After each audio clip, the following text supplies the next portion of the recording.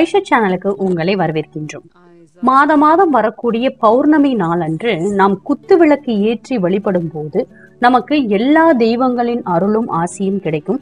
அது மட்டுமல்லாமல் அன்றைக்கு குத்துவிளக்கு ஏற்றி நம் மனதார குலதெய்வத்தை பிரார்த்திக்கும் போது குலதெய்வமே நம் வீட்டிற்கு வந்து எல்லா அருளையும் வழங்குவதாக ஐதீகம். இந்த நாள்ல நம்ம விளக்கேற்றி வழிபடுவதனால கிடைக்கக்கூடிய பலன்கள் என்னென்ன அப்படின்றது தான் இந்த பதிவுல பார்க்க போறோம். ஐஷா சேனலை சப்ஸ்கிரைப் பண்ணிக்கோங்க. பக்கத்துல இருக்கிற பெல் ஐக்கானையும் ப்ரெஸ் பண்ணிக்கோங்க.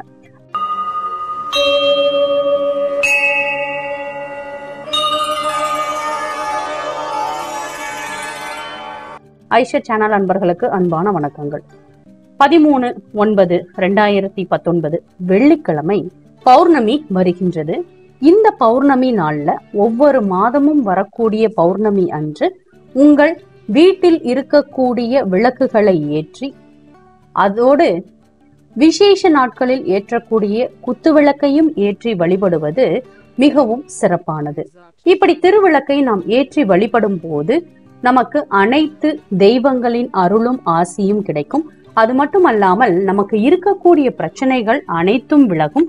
தானியம் பெரும் அளவில் நமக்கு கிடைத்து கொண்டே இருக்கும்.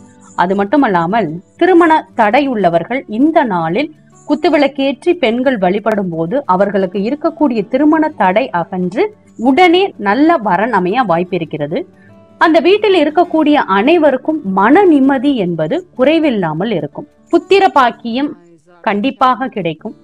சில பேர் வீட்டுல வந்துட்டு பசுக்கள் வளர்ப்பாங்க. பௌர்ணமி அன்று விளக்கேற்றி வழிபடுவதனால பசுக்கள் விருத்தியாகும். பசி பஞ்சம் இல்லை என்ற ஒரு நிலைமையே அந்த வீட்டிற்கு வராது. எப்பொழுதும் புகழ் சேர்ந்து கொண்டே இருக்கும். யாராவது ஒருத்தர் உங்கள் நலனை கருதி அவர்கள் உங்களுக்காக அனைத்து வேலைகளையும் உங்களுக்காக செய்வார்கள். துன்பம் அகன்று இன்பங்கள் எப்பொழுதும் வந்து சேர்ந்து கொண்டே இருக்கும். தர்ம புண்ணிய சிந்தனைகள் அதிகரிக்கும். தர்மம் செய்ய வேண்டும் என்ற நல்ல எண்ணமானது உங்களுக்குள் ஊற்றெடுத்து பெருகிக் கொண்டே இருக்கும். இது போன்று பௌர்ணமி நாளன்று விளக்கேற்றி வழிபடுவது சிறப்பு.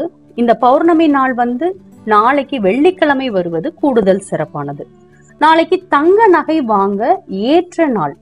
பௌர்ணமி அன்று நீங்க விளக்கேற்றிட்டு அதுக்கப்புறமா கடைக்கு போயிட்டு நீங்க தங்க நகை வாங்கினால் உங்களுக்கு தங்கமானது பெருகி கொண்டே இருக்கும். அதனால அதனால பௌர்ணமி நாள் அன்று நீங்கள் தங்கம் வாங்குவதாக இருந்தால் இந்த நாளை தேர்ந்தெடுத்து மாலை விளக்கேற்றி விட்டு அல்லது காலை விளக்கேற்றி விட்டு அதுக்கப்புறமா நீங்க போயிட்டு தங்கம் வாங்கிட்டு வரும்போது உங்களுக்கு தங்க நகையோட சேர்க்கை அதிகரித்து கொண்டே இருக்கும் வருகின்ற ஒவ்வொரு பௌர்ணமியும் ஒவ்வொரு மாத பௌர்ணமியும் தவற விடாமல் விளக்கேற்றி வழிபட்டு வாருங்கள். அனைத்து நன்மைகளும் உங்களுக்கு வந்து சேரும்.